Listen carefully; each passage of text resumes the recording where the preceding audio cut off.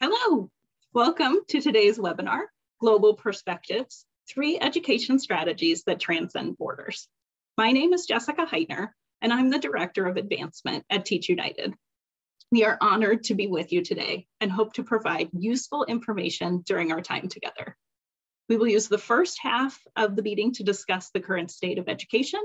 And in the second half, you'll hear from our coaches and partner teachers with the ways that they're using universal strategies to improve teaching practices and student outcomes. Just a few housekeeping items before we get started. We are holding time um, at the end for a question and answer panel with our presenters.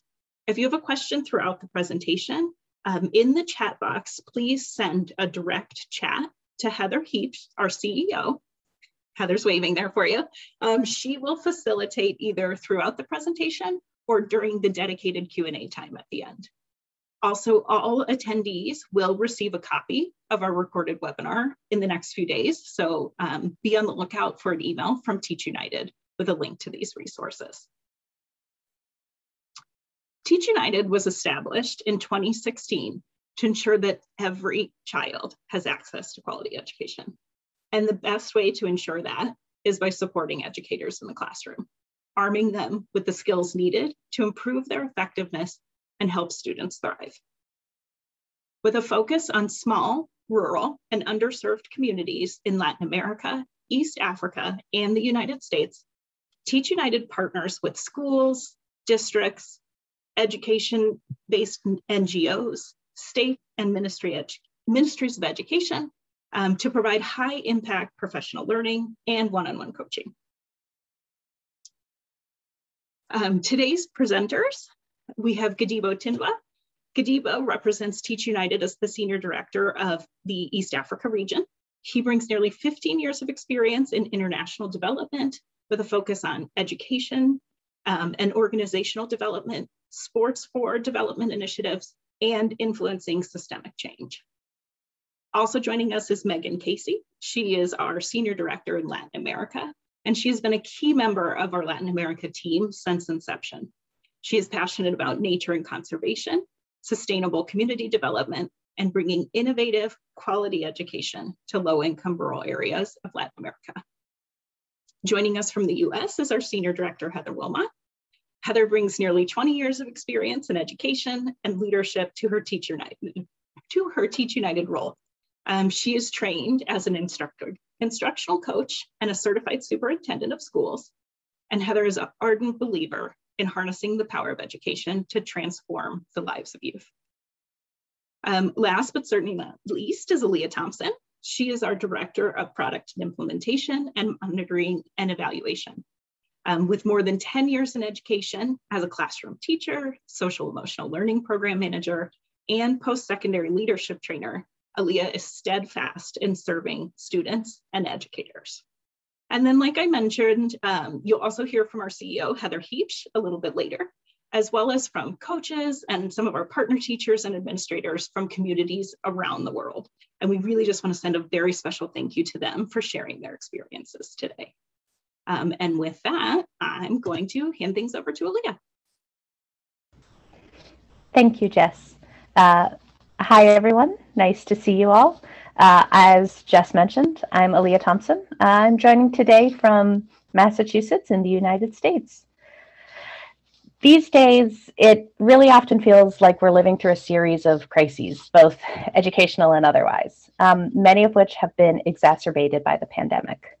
And when we look globally, we see both challenges and opportunities. We know teacher morale has been significantly impacted, and the research shows us that many student outcomes are declining or stag have stagnated in recent years.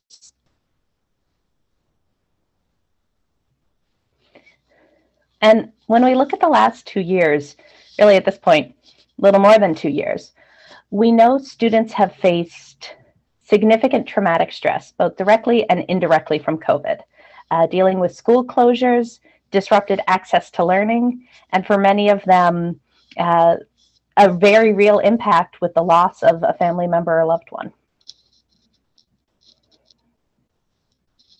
And our educators, who are our best and most important resource for students, uh, they're facing equally daunting situations. It is perhaps no wonder we're looking at a global shortage of over 69 million educators, as well as huge waves of current teachers considering leaving the educational profession entirely. But even among these incredibly hard times and all this stress, educators continue to move the needle for students through their hard work. Uh, as part of a global study on educational trends, Google tracked trends from across the world that we're seeing have an impact, a positive impact on student outcomes. We're looking at increased collaboration, more student led learning in the classroom, and innovative ways of teaching and learning through the use of technology that will help students graduate prepared for a successful future. We at TU, we see these trends both in what our partner schools are doing and how our education, um, how our instructional coaches are supporting educators. And to speak to this more directly, I'd now like to introduce Gadibo, Senior Regional Director, who will be speaking about what we see in East Africa. Thank you, Aaliyah. My name is Gadibo. I'm joining today from Dar es Salaam, Tanzania. Um, as my colleague has mentioned, some of the challenges that we are seeing across the education space cut across geographies and uh, areas that we operate in. In the case of East Africa and more specifically in Tanzania, um, we're seeing tremendous success in the free public education policy where over 96% of school age students are enrolled in primary education. However, over 60% of those do not transition into secondary education, where we're seeing only 31% uh, of uh, secondary school age students are enrolled in the education system. Some of these data sets raise some fundamental questions um, that we can take into consideration to understand what this means. There are questions around other costs related to accessing education, uh, costs like transport, uniform, which are also make it difficult for families to access education across the region. With the success of uh, from their enrollment, we're seeing new challenges that are coming up with the teacher-student ratios. Uh, at the moment, the ratio stands at six, 56 teacher um, students per one teacher, and this shortage in 2019 was above 80,000 teachers, making it difficult to provide uh, access to content. And uh, with the pandemic happening, we also have, are seeing challenges about, around teachers being able to deliver the content uh, just through distance learning. Challenges delivering curriculum are also um, making a priority between delivering the curriculum versus best practices when it comes to uh, when students come back to the classroom. Large class sizes, also difficult to maintain social distancing when schools reopen. But despite all these challenges, we are seeing a lot of efforts in different directions to try and address some of the issues. Some of the quick examples that we are seeing in Tanzania is the recent launch of the 15,000 classrooms that were recently built by the government. Um, the announcement for uh, 245 secondary schools that are specifically going to be built uh, for girls students and the government investing over 180 billion to, to build those schools. We're also seeing um, new teacher vacancies being announced, so that means that would slowly start to address the teachers, uh, the gaps in teachers per student, but also um, improvement in the quality of education being delivered. So as, as we've seen the challenges, but the future is really optimistic and we're, uh, we're optimistic about what that looks like in, uh, for our students and learners. I will now invite my colleague Megan Casey to speak more to this context in the uh, uh, context of Latin America. Hola, muchas gracias. Saludos a todos. Estoy conectando hoy con ustedes desde Sarapiquí, Costa Rica. Thank you, Gadibo, and hello to everyone. I'm joining you today from Sarapiquí in Costa Rica. The panorama of public education in the rural areas of Latin America is um, not great. Central America is facing what is called the worst crises in the last three decades um, being likened to the time when the political military conflicts devastated the area less than 50 years ago. So despite some tangible achievements in human development generated um, by the integrationist movement um, over the last 50 years, the, the multi-country collaboration is, is showing clear signs of political exhaustion. according to the 2021 State of the Region report for Central America, um, it's highlighting low coverage in preschool and secondary education, um, an increase in ecological debt, more resources for the armed forces, low funding for justice, uh, strong economic contraction. The prevalence of unsophisticated economies with low value add and little job creation and substantial deterioration in the evaluation of democracy, um, all of which has now been compounded by the COVID pandemic.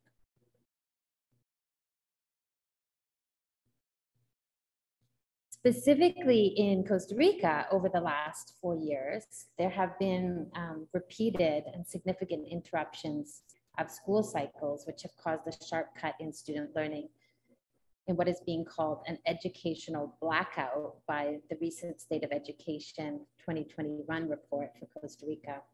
Um, Pre-pandemic, about 30% of 15-year-olds dropped out of education before finishing and 33% lacked the basic skills in science, reading, or math. So similar to other regions, uh, learning loss is a significant issue. Um, it is estimated that the accumulation of lessons lost due to strikes and the pandemic is equivalent in a regular school year to 80% in primary and 72% in secondary. And it is estimated um, that Costa Rica will regress up to 30 points in the international PISA test if it doesn't reverse the learning lags. We're also witnessing a new kind of educational exclusion. Um, close to 40% of students in Costa Rica did not have adequate conditions of connectivity and access to like technological resources during the pandemic. And this seems to be a similar or worse um, trend in other countries in the region. The 2021 State of Education Costa Rica report argues that the quality of teaching practice is the most relevant factor to quickly and effectively influence the success of students. Yet, according to the report, the teaching staff in the country apply few effective teaching practices to achieve high levels of proficiency, which means the gap between the current teaching practice and Costa Rica's learning goals is significant. And teacher evaluations show that 40% of English teachers and 29% of math teachers do not master the content of the curriculum they're supposed to teach.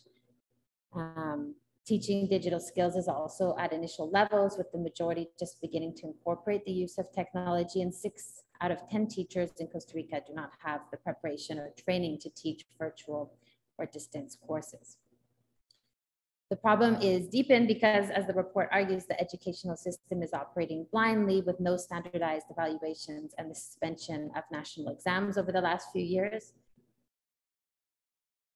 So currently, the educational context in Costa Rica specifically, and Latin America in general, is, is difficult. Um, and globally, we know that students and teachers share so many challenges. Um, but working with communities and teachers through Teach United motivates us daily. Um, and we're excited to share with you a little later on some of the ways our team and partners on the ground are working to support quality education in the region. Um, I'm going to pass it over now to Heather Wilmot, who is going to share with us a little bit more about the US context. Thanks, Megan. I'm joining from Milwaukee, Wisconsin in the United States. So, you know, life after a crisis is surely unsettling. And as with many countries around the world, the US is continuing to grapple with the continuing effects of the COVID pandemic and managing emergencies associated with the health of our public. And though some US states have moved on from an emergency status, US federal officials still remain cautious. The pandemic has really revealed for us how critical and fundamental socialization is in our lives. Schools where desks would be close together to facilitate collaboration and inquiry were forced to separate for long periods of time. And the role of proximity changed the day to day functioning of schools, whether it was navigating the classroom environment or the less structured areas of a school community. As we are working toward recovery, divisions in school boards and school communities continue to persist. And navigating protocols and vaccination programs impact the natural ebb and flow of school operations and interactions. In addition to schools being faced with teacher shortages, our US families are also dealing with adapting to modified school schedules and the difficulty surrounded with trying to find childcare. But not only do we need to be concerned about whether our students are learning enough, this purports us to better understand what this really means. And if our students aren't learning, how do we respond to accelerate their learning? And what is our role as a collective community? So, yes, learning is important, but we also need to take into consideration factors that will influence how our students will be successful in the future and how they will live happy lives. So, teacher shortage is not a new issue in the US, but the pandemic has further entrenched the problems. Before the pandemic, there were over 340,000 fewer students across the US choosing to enroll in teacher preparation programs. And there was a recent survey by the American Association of Colleges for Teacher Education that reported a further decline 11% decrease in undergraduate programs, and a 13% decrease in graduate enrollment. There was a national survey of district leaders included in the Educator Supply and Demand report, and that showed that 16% of the new teachers hired between 2020 and 2021 were individuals who were not fully prepared. That was nearly an 80% increase since 2014 and 2015. There is there's such pressure for classroom coverage in our US schools. And with the increased concerns about preparedness, schools need to offer more support to new educators. But this is really a time where schools are struggling to help them. And districts across the US have also indicated that one of the most critical staffing issues right now is the lack of substitute teachers. Some of our states are even asking for intervention and help from the National Guard, as New Mexico is one of those examples. New Mexico and Oklahoma are also using state employees to provide coverage in our classrooms. So, what does this mean for learning for our kiddos?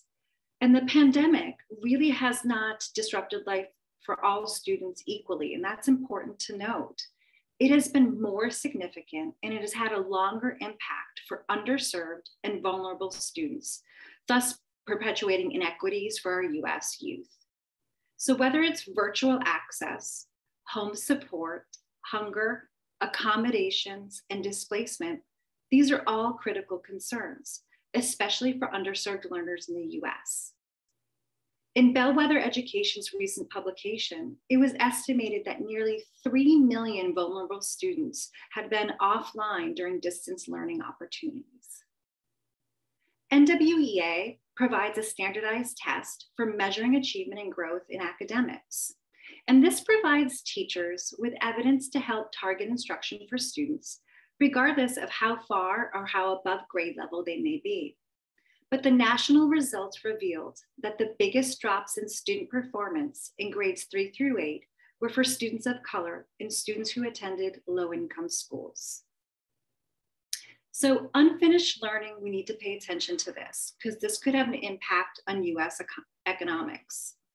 The fallout from the pandemic threatens to negatively impact this generation's prospects, and it could constrict their opportunities into their adulthood.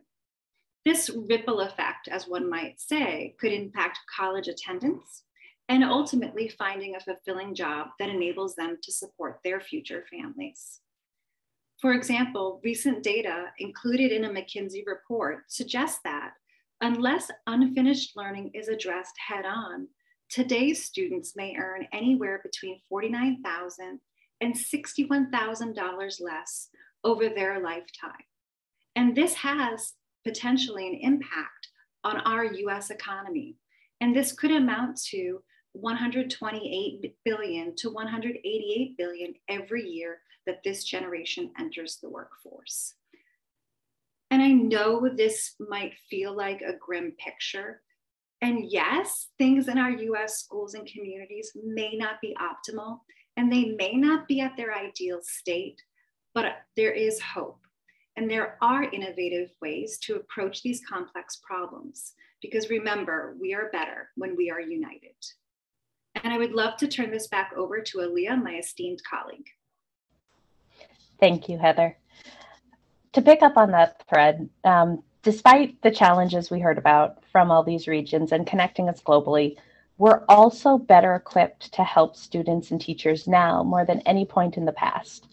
Thanks to the work of our educators on the ground and the researchers who support them, we know what works to make schools better, to help students, and we know how to implement it. Teachers matter. When I think about the impact of teachers, I like to talk about this both academically and personally or emotionally. Many of us have been lucky enough to have an educator who's changed our life for the better. Um, I'm lucky enough to have more than I can count on one hand. We know that teachers matter. We've always known that. What's new or what's increasing is that now we have the evidence that tells us specifically how educators impact student outcomes and what we can do to help educators in their work. Research confirms that of all school related variables, educator effectiveness has the biggest outcome, uh, sorry, the biggest impact on student outcomes. And it's not just for student achievement or test scores. It, teachers also matter for other metrics like attendance, progress and persistence through school, and student well-being. Given that educator effectiveness has such a large impact on students, then we need teacher professional development that works to support that effectiveness. For those of us who've been educators, uh, we know there's a lot of PD and there's a lot of bad or maybe even just ineffective professional development a workshop you attend or a training you go to where you never use the strategies discussed later. What you'll learn from our regional directors and our instructional coaches is something different. We know that for professional development to be effective, it has to be actionable. It has to be real and embedded in the teachers' classrooms, and it has to have an element of collaboration so that they can learn from and with each other.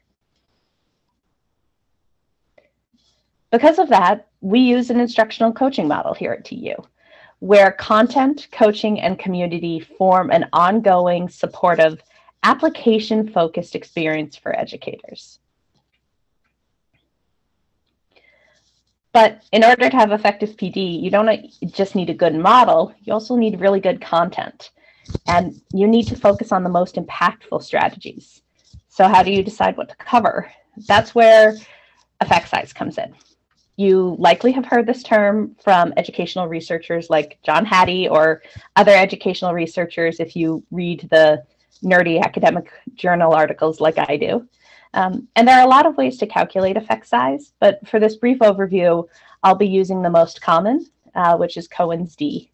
And effect size really is just the way to understand not only that something works, but how much it has for an impact. So the point four hinge point that you'll see on this slide here is where strategies have a larger impact than both the typical effects of a year of schooling. I mean, we know students grow and mature throughout a year, uh, and the impact of a typical educator. Anything above a 0.4 is considered to have a large positive impact on students. And the three strategies we'll talk about and hear from our coaches and educators those all fall into this area, this zone of desired, in, uh, desired effects. And the first strategy, uh, and in some ways the most foundational, is collective teacher efficacy. The, this focus is on ensuring educators believe that together they have the power to impact their students. It's really the underlying factor um, of everything else because without this belief, without this certainty, nothing else changes. It's collective, it's based in educator mindset, and in their sense of agency. Now, one thing I like to point out, it's not just about teachers feeling good about their work um, or having good relationships with their colleagues. This is about educators having structured collaborative opportunities to make the decisions that then they see the positive results. They see the improved outcomes for their students. And the second strategy we're going to be talking about today is engagement. As we heard from our wonderful regional directors, we're all facing challenges, some shared, some different. And yes, every classroom, teacher, every student is different. But engagement and learning cuts across all those differences. Um, what we focus on in TU here is the difference between kind of attention and engagement. We're not just helping teachers ensure on task behavior. Uh, instead, our coaches are helping teachers create an environment where students want to learn, where the students are invited to own their own learning and they're excited to continue their progress forward. And lastly, we're going to talk about data. It's a big word in education these days. Um, I like to think of it as data in service of learning. We need data to help us understand what is working, what is not, what we want to change. Too often, educators are given data or analyze data and no actionable steps are taken. There's actually been some great recent research on this um, where data analysis in a vacuum, it doesn't work. It doesn't change what teachers are doing, and it certainly doesn't impact student outcomes. Instead, at Teach United, our instructional coaches help educators understand data in the service of the work they're doing, what questions they have, what they want to know, how can they improve their work.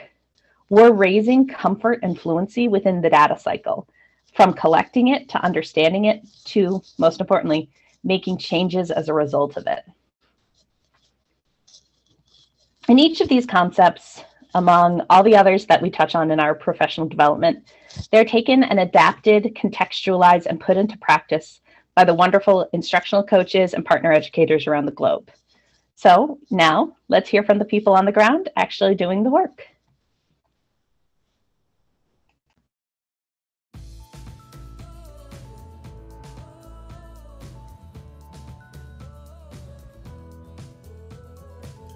Hello. Hola, Pura Vida from Costa Rica. I'm Megan Casey. Hi, I'm Chesco Sowo. I'm a coach and the Monitoring and Evaluation Associate in Teach United. My name is Megan Antall, and I'm joining you from the Southern United States. I'm a U.S. instructional coach for Teach United. Hola, mi nombre es Melissa Arroyo Vargas, pertenezco al Centro Educativo Escuela Finca 6 y mi especialidad es informática educativa. My name is Agnes Lukumai. I'm from Engutoto Secondary School here in Monduli District in Arusha region. I'm teaching English language. Hola, mi nombre es John Solís y soy el director educativo para Latinoamérica del proyecto Teach United. Tengo en la organización más de 7 años de experiencia y me encanta ser entrenador en este proyecto. Hi, I'm Heather Wilmot, Senior Director of U.S. Programs with Teach United. Hello, habari. Hola, mi nombre es Arlene González y soy maestra en el Centro de Educación Creativa en Monteverde. Hi, my name is Niana Sims. I am an elementary principal of a K2 building, um, Lincoln Elementary in Torrington, Wyoming. Habari. Hola, mi nombre es Armando Bello, soy el gerente de operaciones para Teach United Latinoamérica y desde Costa Rica les envío un gran abrazo. Pura vida.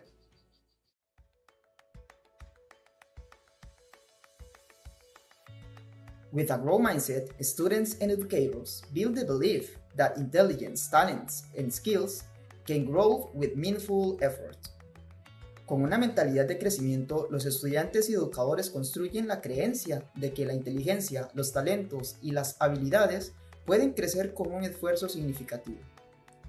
In rural Sarapiquí, Costa Rica, which is one of the richest counties in Costa Rica in terms of biodiversity, yet poorest in economic terms, in large part due to the monoculture production of banana and pineapple in the region, a fixed mindset or the belief that some students are naturally good at some things and not others often dominates in families and even in educational centers. Learning to identify how we employ a fixed mindset or a growth mindset in different areas of our life and the consequences of each mindset helps us to recognize our attitudes and behaviors and move away from limiting ideas and fear of failure and learn to embrace challenges and failure as part of our learning.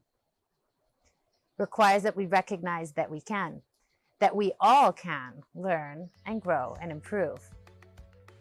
Cuando los estudiantes son conscientes de su capacidad y entienden que el esfuerzo es importante independientemente del resultado, es mucho más sencillo generar en ellos una práctica constante de mentalidad de crecimiento, porque se crea una aceptación al error, se entiende que equivocarse es una señal de que estamos aprendiendo y no todo lo contrario. Los docentes debemos usar frases que motiven a los estudiantes a valorar el proceso y que se genere una motivación interna. Frases como buen trabajo, excelente esfuerzo, falta poco, me encanta esa actitud positiva. De esa forma, independientemente del resultado final, los estudiantes van a enfocarse en el proceso y lo van a disfrutar mucho más. También animan a sus compañeros a intentar y a esforzarse. Los estudiantes tienen bastante claro el concepto y cómo aplicar la mentalidad de crecimiento. Ellos lograron expresar con claridad sus ideas respecto a lo que para ellos significa. La actividad del dado con frases relacionadas a la mentalidad de crecimiento como yo aprendo de mis errores cuando, yo alcanzo mis objetivos cuando, yo doy lo mejor de mí cuando, yo soy capaz de, yo no soy capaz de todavía, pero con esfuerzo lo conseguiré, yo lo vuelvo a intentar cuando. Eso les hace analizar desde una perspectiva personal qué han mejorado y en qué pueden seguir trabajando, siendo conscientes que es un proceso de tiempo y de paciencia con uno mismo. Tradicionalmente América Latina se ha caracterizado por tener grupos poblacionales con mentalidades poco dispuestas al cambio y con temor a los retos. Esto lo hemos visto evidenciado en las aulas a las cuales visitamos. Este es el ejemplo de la profesora Vilma Alfaro, maestra con más de 27 años de servicio en educación costarricense. La maestra Alfaro impartía lecciones de ciencias, español, estudios sociales y matemáticas a su grupo de quinto grado en la escuela Ida Huetar, una escuelita rural en la región atlántica de Costa Rica. A la llegada de Teach United, Vilma aceptó ser parte del proyecto sin embargo, poco convencida de que esto llegaría a ser funcional para ella y sus estudiantes. Inclusive habló con ellos y les comentó, aunque estemos en este proyecto, yo no voy a cambiar mi forma de dar las clases utilizando la pizarra y el marcador. A lo largo de los primeros dos meses de trabajo con la maestra Alfaro, empezamos a notar un cambio importante en su forma de pensar se interesó en buscar una estrategia que incluya el uso de la tecnología para explicar el tema de fracciones lineales a sus estudiantes. Después de encontrar el recurso ideal y aplicarlo con sus estudiantes, Vilma confesó que en sus muchos años de trabajo nunca había obtenido tan buenos resultados con sus estudiantes en este tema. A partir de ese momento, ella siguió utilizando más y mejores estrategias y recursos que lograrán captar la atención y el interés de sus estudiantes. La experiencia en esta escuela fue realmente productiva, ya que su cambio de mentalidad influenció a otros maestros.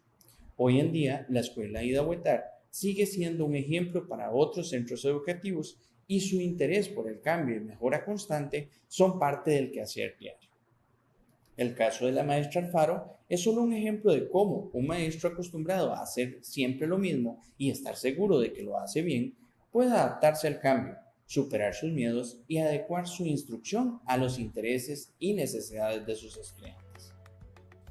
To most of my teachers that I have been coaching, they thought that eh, there are some of the students that even if they can go with them to their home and teaching the students won't like learn anything. But eh, in teach united we open up that eh, these students they can learn.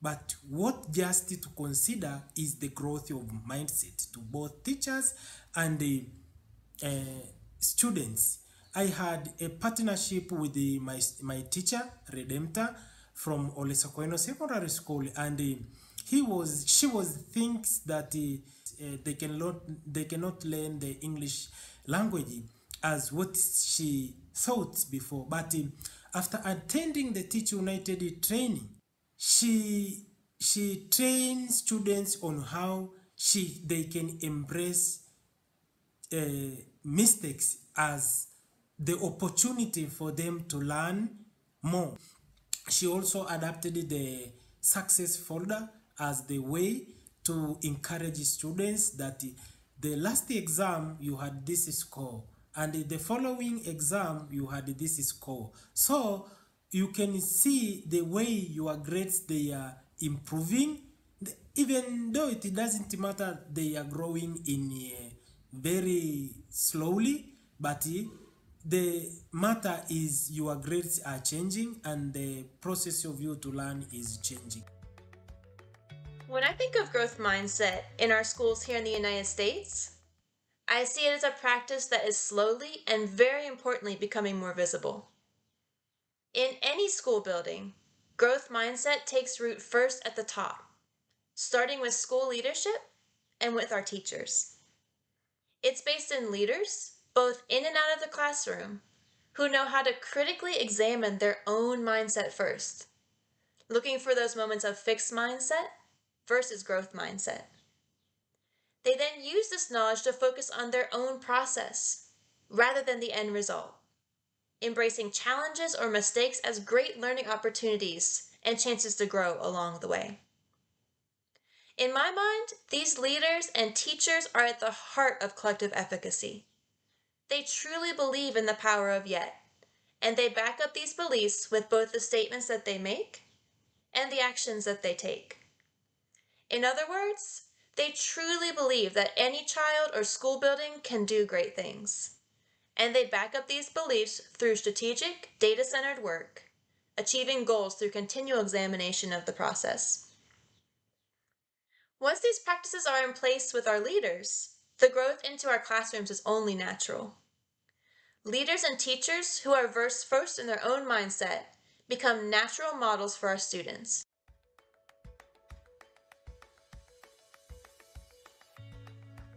Engagement can be defined as the degree of attention, curiosity, interest, optimism, and passion that both students and educators have in teaching and learning. El compromiso se puede definir como el grado de atención, curiosidad, interés, optimismo y pasión que tanto los estudiantes como los educadores tienen en la enseñanza y el aprendizaje. Teacher and student engagement is such an important concept. Engaged teachers are better teachers, and engaged students really learn and grow. Identifying what engagement actually looks like for us as educators and being able to distinguish real engagement from forms of participation like ritual compliance or strategic compliance, permits us to analyze what motivates our students and what strategies we can employ to increase their engagement. Prioritizing genuine student engagement ultimately requires that we find new and better methodologies to reach our students and make the learning relevant to them and motivate them to become invested in their own learning and educational success. Teachers who understand the importance of student engagement are willing to take risks and step out of the norm and try innovative strategies in the classroom that are centered around student mastery.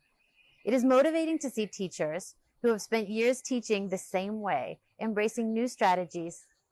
And the most motivating is witnessing the change in the students and their increased engagement and success. In recent research by the National Association for Elementary School Principals, it indicated that culture exerts a powerful impact on teaching, learning, and everything else that takes place in school. Culture is important as it impacts how teachers respond and interact with students, but also with each other. And an element that contributes to school culture is connectedness and engagement. Just like our students, it's vital that our teachers feel connected, that they feel engaged. So, working to foster connections can contribute to a more supportive environment and a culture for our teachers where they can imagine what is possible in their work. Fostering teacher engagement is complex and it's work that needs to be approached from different angles. But, you know, don't overlook the power of conversation and building those relationships school leaders can use conversations to allow teachers to be heard and have them feel valued. It's also an opportunity for teachers to better understand each other's experiences and for leaders to know their perspectives while they gain insight into the temperature of the organization and they can identify areas where they can act upon. student and teacher engagement is so important. It kind of goes along with the ownership of what they're learning. It's important for students and teachers both to be reflective on what they're learning, and that in itself can be pretty um, engaging, but we also try to design engaging work for our students. We try to give them lots of opportunities for choices. We try to give them lots of opportunities for collaboration. We use Kagan strategies, which is all about collaboration and working together and learning together. We give our students an opportunity to um, see novel novelty in their learning. So it's not always the same way of learning something. There's novel ways of of doing things. Our teachers try to make sure that they also emphasize different learning uh, modalities so that there's visual there's tactile there's um, auditorial so there's lots of different ways for students to learn and teachers to to plan around that learning and design around that learning. We also try to do the same thing for our teachers as far as professional development, trying to meet their needs. Some learn best through book studies, some learn best through ongoing coaching, some learn best through come in and talk to me about what you see in my in my teaching or in my classroom. They also love to go into each other's classrooms and help each other um, learn learn more about what they're doing. So I believe that teacher and student in, engagement is so important, and my teachers have really embraced embraced setting that up for our students. Uh, recently, I've learned about the story from one of our uh, education officers in one of our trainings. Uh, the officer said once he was a teacher at a certain school, primary school, he had this uh, standard three class. These were the students who were uh, on the average of nine years old each. And so during the during the, the, the particular class, he had this challenge that the students were shy and couldn't talk. And so he said he, he, he just brainstorm about which strategy he can use to make the class engaged. And then he heard some stories from the teacher that these students uh, couldn't, does not know really well Swahili. Yeah, Swahili is our national language. And so uh, some of the students have their, uh, I mean, using vernacular language. So there was just a barrier in Swahili language to these children. And so he started to say, to brainstorm of what strategy he can use to make his class engaged. And then he came up with one idea to have uh, a certain, some kind of speech, something like a morning speech to standard three students. Just uh, so he told his students to have uh, each each to have one thing to learn about. So at the beginning, it started to share. He started to share uh, the stories and later on, the students were like, "Yo, teacher, tomorrow is me. Tomorrow is me. I, it's, it should be my turn. It should be my turn." Later on, everyone in the class was so engaged, and they want to perform. I mean, to to have their session to provide a morning speech. So he later on ran out of ideas to share with the children. I mean, ran out of topics. Later on, he told the children, if you want to provide a morning speech, you should come with something to talk about. And one day, one student came with the story of Obama. he saw the passion that now the students are going back at home and made some research and engaged their relatives that, you know, mom, dad, or sister, please help me. I need to get a topic to speak about tomorrow. Give me the content, give me, I mean, some updates about the content. So it was very engaging and later on it moved from class to actually the General Assembly where the from standard one to standard seven I attended the session and everyone wanted to be there to have to provide this morning speech and so what we are learning from this story from uh, our ward education officer was former the teacher, he didn't see the language challenge as a barrier. He didn't see the, the uh, small age as the barrier, but he saw the potential that these children, if they can talk to one another, well, they can talk here in class as well and they can have something to present. Yeah, however that something is. So to engage the students, he just he just went with the flow of their age and what they know and what they can do, even if in in a small context, and go with the gap to make sure that uh, these students participate in class. And I'm sure through that morning speeches, even in math session, even in English session, literature session, these children were also engaged.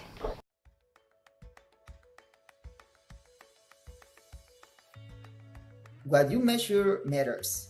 There are many benefits of using data to drive instruction, to increase learning and build continuous improvement. Hay muchos beneficios de usar los datos para impulsar la instrucción, para aumentar el aprendizaje y para construir una mejora continua. Another thing that we have learned from this Teach United seminars or program is data, student data. We have different datas that we are collecting from students and this kind of data help to assess not only students also teachers we assess ourselves that how far we are on teaching and learning process but specifically when we look on this results data it helps teacher to know who are scoring above average also those who are scoring below average. And uh, to my side, I use these data to create new groups. For example, I can text to, I mean, few students, maybe three students from those who scoring higher, and also I pick maybe two students from those who scoring low or below below average. So this, when I create these groups, I used to I used to give task to do. So through participation, through doing that task that I gave, you can find those who have slow, I mean, who have who are slow learners or who have low performance.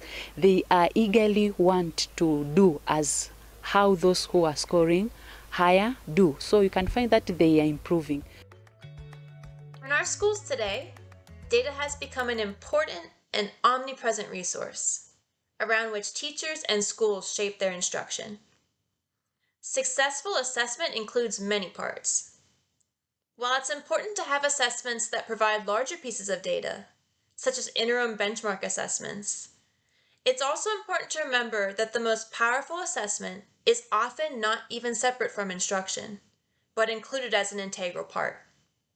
For example, using the strategy of formative assessment, conducting checks for understanding along the way, in the moments that students interact with the content rather than after, allows assessments to move from being just another number or score to be an active roadmap.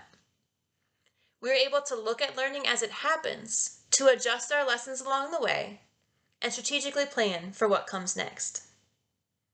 Students are at the center of assessment. Collecting data should not simply be about giving a score to measure towards growth or proficiency, then moving on. It shouldn't just be a number collected in a gradebook or put on a report card. It's about using data as a meaningful point to jumpstart conversations with students to help them reflect critically on the process of their own learning. Conversations around data should serve to orient students in their successes and also help make goals for those areas where they're not there yet. Students can play a meaningful role to help drive interim assessments. Sometimes, the most meaningful data allows students to personally evaluate their errors, then resubmit for another score. Giving students some voice and choice in how they are assessed can also be invaluable. For example, one strategy currently being used in the US is assessment through choice boards. In this way, teachers allow students to choose from several authentic products. While the standard multiple choice assessment has its place, providing these multiple options for how assessment can happen and how it can look widens the lens of student performance and student learning. Teachers are also at the center of assessment. It's their targeted conversations in professional learning communities, for example, that make data have meaning. Much as with data-centered conversations with students, putting teacher conversation at the center drives reflection and creates meaningful goal setting to help students move forward. At the heart of it all, data is the crux for school-wide conversations that move students forward. Para mí un ejemplo de buenas prácticas sería la evaluación o la autoevaluación, pero después de cada clase o tema. Es que antes eh, lo practicaba hasta un mes después de cerrar un tema. Entonces es una práctica muy bonita y te permite saber de forma inmediata si se logró o no la comprensión total o parcial acerca de un tema específico. Pero este, sería al cerrar cada clase, por ejemplo, con las notas o tarjetas adhesivas, se logra saber si un estudiante o varios necesitan más ayuda, lo entendieron bien o si de plano podrían enseñarles a otras personas. De esa forma te organizas y nos permitirá reunir fácilmente a los estudiantes en la clase siguiente para diferenciarlos mejor de acuerdo con sus necesidades o sus aprendizajes específicos, según lo que ellos nos expresaron en esas tarjetas. Me ha enseñado y ayudado a hacer conciencia acerca de la forma en la que enseño, porque por mi especialidad ya conocía y había puesto en práctica algunas herramientas tecnológicas. Sin embargo, no me detenía a hacer tanta reflexión en si la forma en la que lo estaba haciendo estaba bien o en sí motivaba o ayudaba a que mis estudiantes comprendieran y aprendieran de una manera más efectiva o de una forma más consciente acerca de su propio proceso de aprendizaje.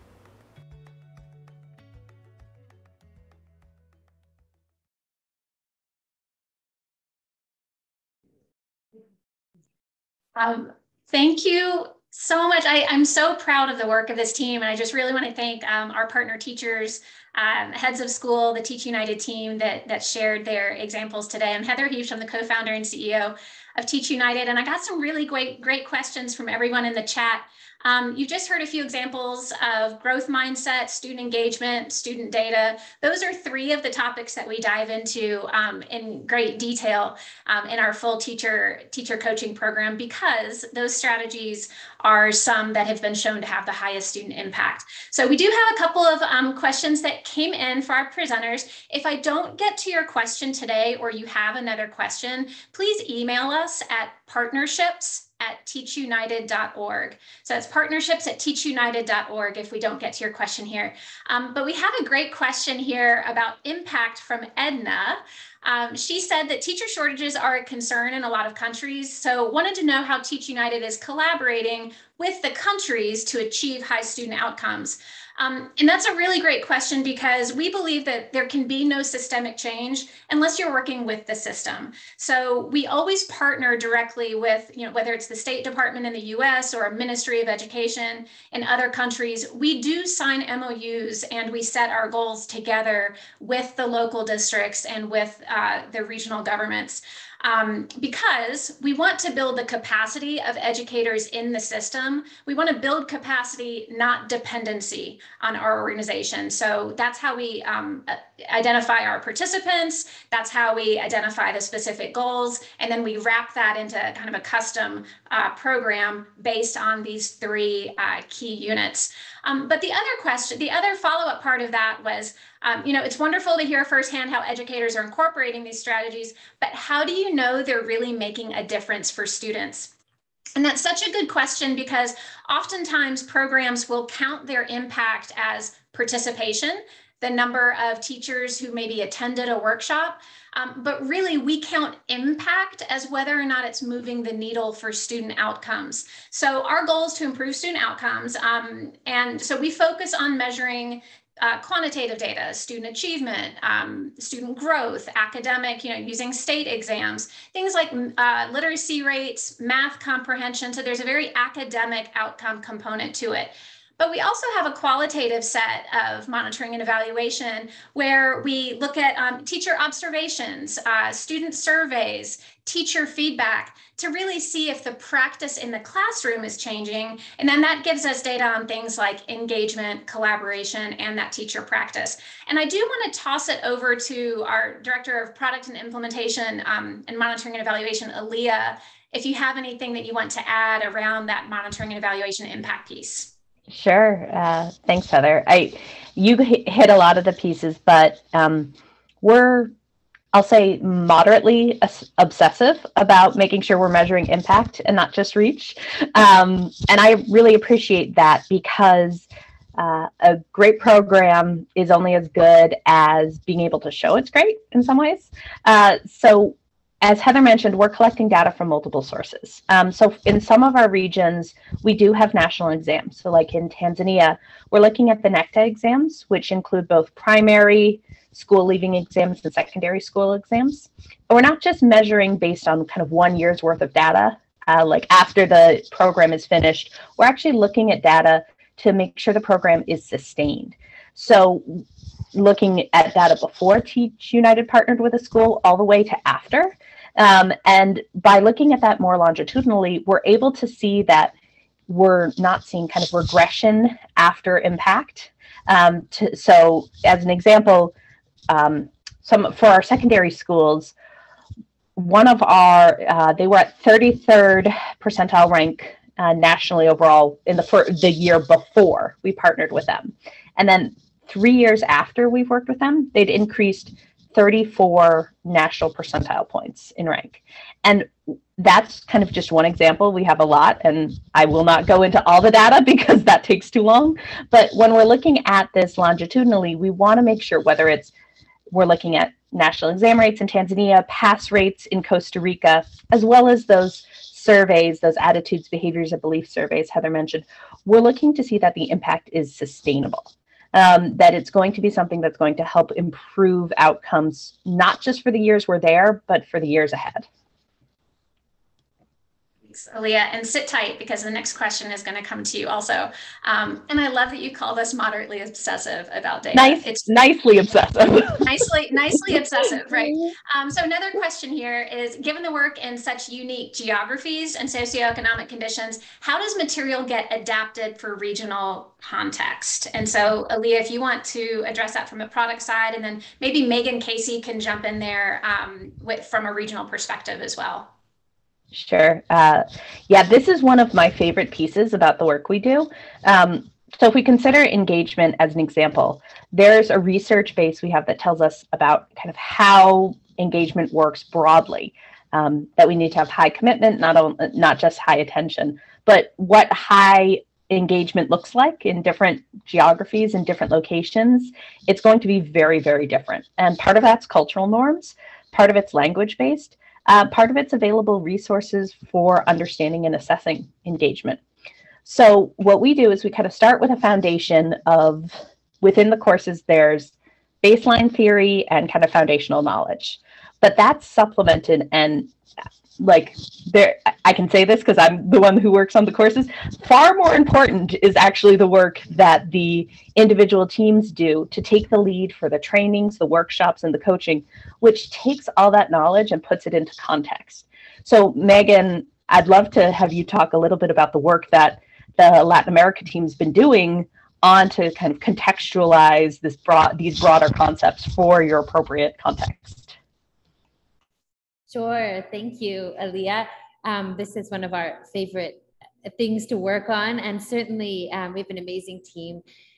So yeah, the context contextualizing the, the, the resources. In unfortunately, in the Spanish language, there's not a lot of materials available um, not nearly as much as there is in English, for example. So we've been able to um, work with our partners on the ground, with our school leaders and, um, and local educators to create videos, to create um, the resources that reflect our, our actual context.